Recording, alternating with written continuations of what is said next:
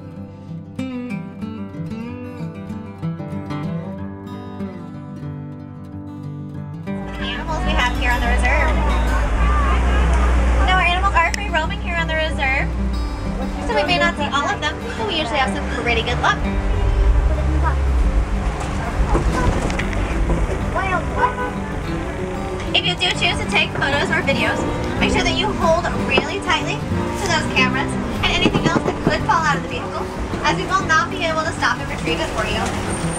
Our first stop today is the Little Interior Forest. It's filled with animals who use their natural coloration and markings to blend into their background. If you look over to your right, you will see an okapi. Okapis with their striped hindquarters do resemble the zebra, but they're actually not related to the zebra. They're the only relative of the giraffe. They're pretty shy and reclusive, so they were not discovered by the Western world until 1901.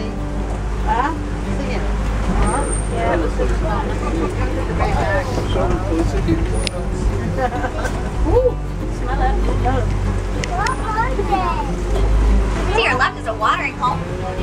Sometimes black rhinos like to hang out here. Unfortunately, black rhinos are being poached for that horn of theirs, which is made out of keratin. That's the same substance as our fingernails. So that means that that horn has absolutely no value whatsoever. It is believed in Africa that that horn has medicinal value, but it actually does not. So unfortunately, these poor guys are being poached for no reason at all. Sadly, there are less than 5,000 black rhinos left in the world today.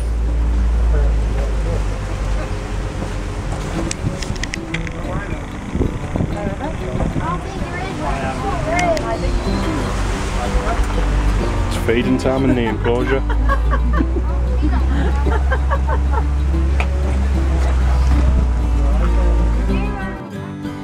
If you were to shave them down all the way to their skin, you would still retain that black and white stripe pattern. And those brown fuzzy guys in the back are the water buck. Their skin will secrete this greasy substance that will coat their fur completely, making them practically waterproof. They also have cute little heart-shaped noses, which I think is adorable. 15 degrees. And they can go up to 9 months without a single drink of water. They get all of the water that they need from the food that they eat.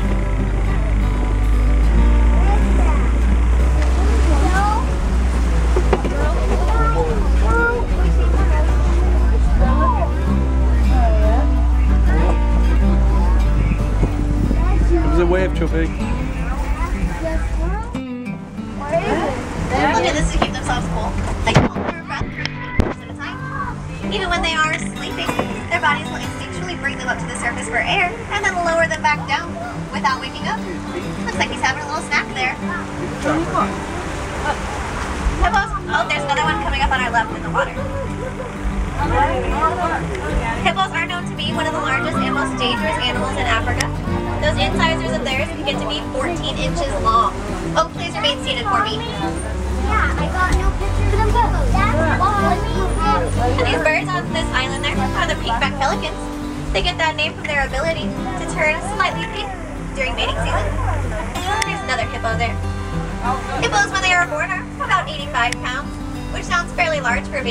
But it's actually pretty small compared to an adult male, which can get up to 5,500 pounds.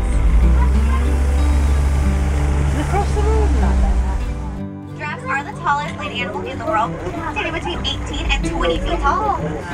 A group of them is called a tower, as they tower over the savannah. And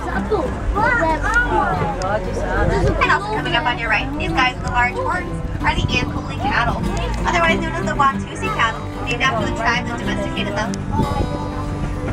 Those large horns of theirs may look heavy, but they're actually pretty light. They're honeycomb shaped on the inside and filled with blood vessels, so they'll send their blood up through those horns to release excess body heat, ultimately lowering their temperature. It's like a built-in AC unit.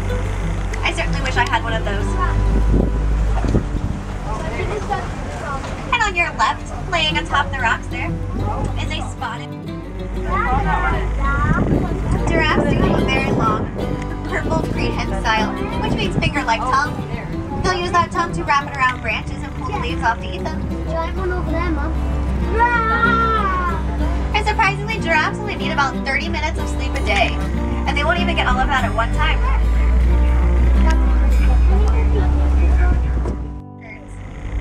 Take part in the largest migration in the world across Africa.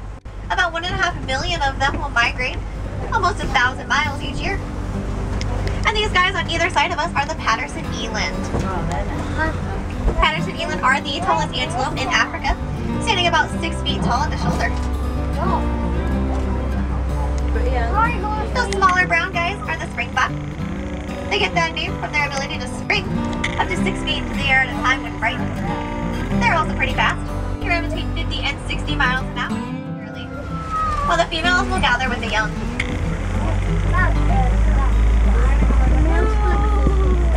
Uh-oh, you guys. It looks like our usual road has been washed out by the rain earlier this morning. Hmm. That's alright. I think I know a back way.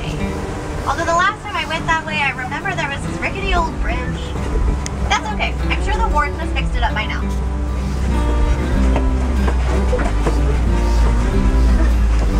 That. Looks alright to me. It's amazing what duct tape can do. We're gonna take this pulley-pulley, folks. That means very slowly.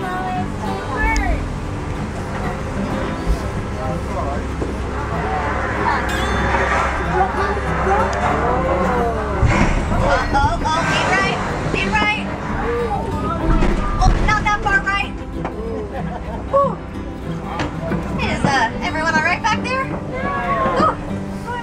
never happened before.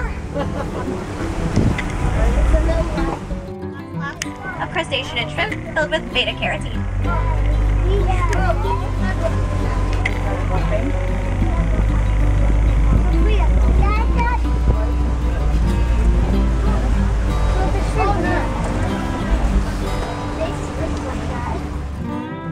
They can run up to 35 miles an hour. They have very poor eyesight, but they actually have a very good sense of smell, as well as hearing. A group of rhinos is called a crash, which I think is kind of humorous.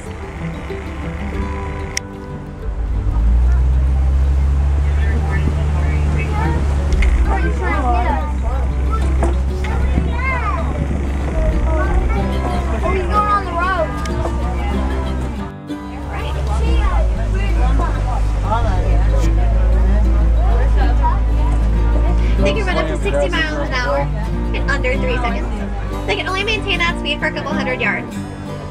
But just like you and me, the cheetahs are diurnal, which means that they sleep during um, they sleep at night and are active during the day.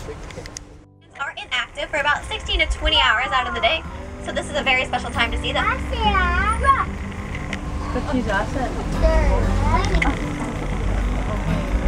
They have a very thick padded paw, allowing them to run very quickly, as well as silently, as to not startle their prey.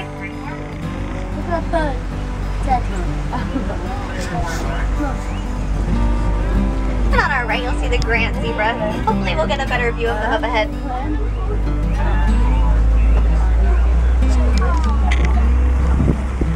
When a lion roars, it can be heard for up to five miles away.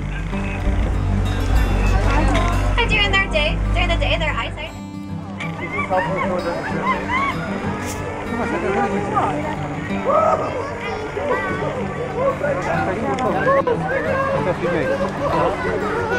Showing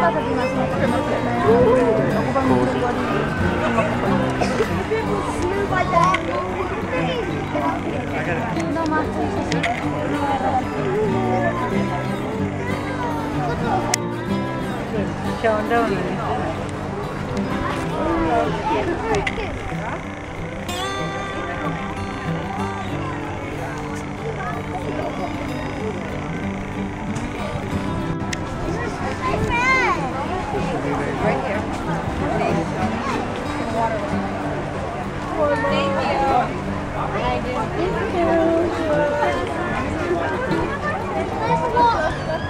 at Alex with a pint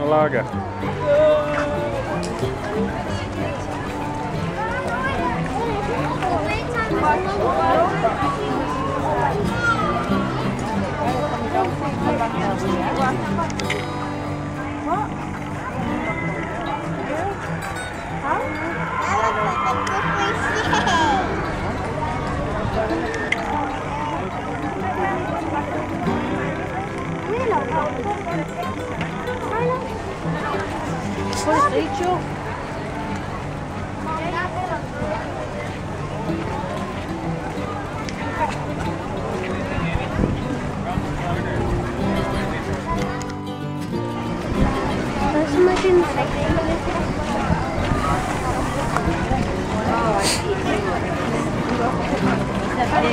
Right there. I'm not person. Looking up what it's for. No. That doesn't get there. Uh, top leader. Obi-Wan uniform. It's a person, but it's not the person that you're looking for. You're looking for someone with the stickers there.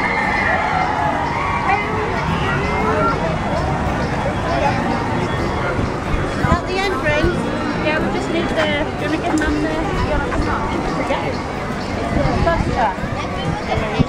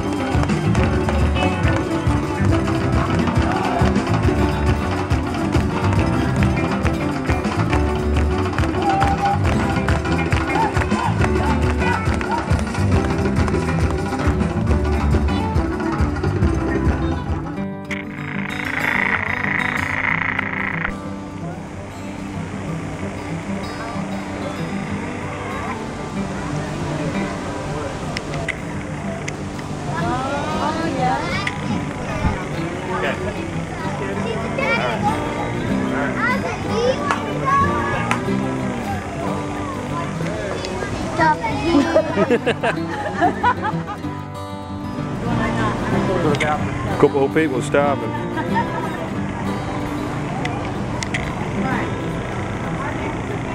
Looking on the menu again.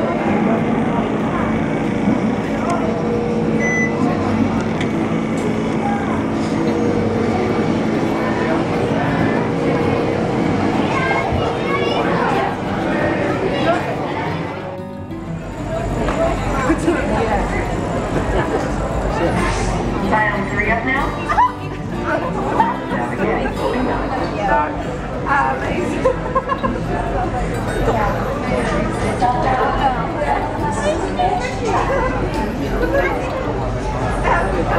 Yeah?